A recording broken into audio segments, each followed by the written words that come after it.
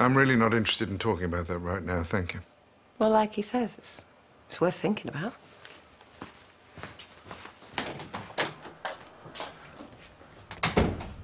You should have told me.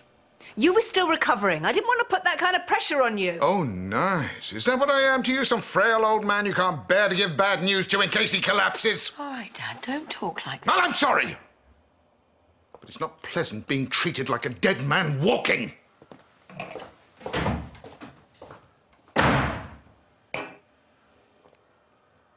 I mean, it's so stupid.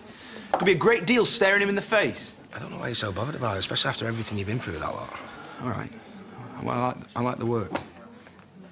And the reason I made it happen today is because I'm good at it. Chrissie and Lawrence just need to take the blinkers off for five minutes. Good luck with that. You come back here right now, lady. The web she has didn't do anything, all right? Whoa, whoa, whoa, whoa, run with that by me again? Like, I just caught her in my room going through my stuff. I was only looking, I didn't take anything. Only because I caught you first. I didn't. Right, you have a word with her, will you? I am not having a thief living here. Well, Just take her side then, why don't you? duty calls. Yeah, good luck with that.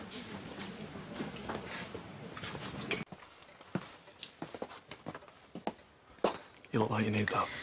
Well, it's been a heck of a day. Well, you have to admit things turned out all right in the end. Robert did a good job, didn't he? I'm admitting nothing of the kind. And I have got bigger things to think about now. Such as? I don't know. Mortality. Who I am.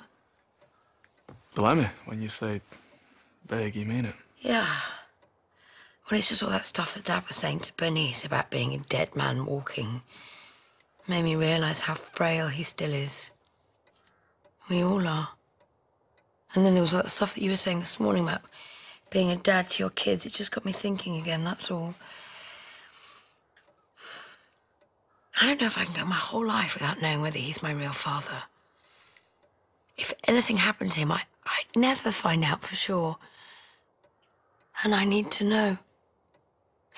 So I've decided that I'm I'm going to organize a DNA test.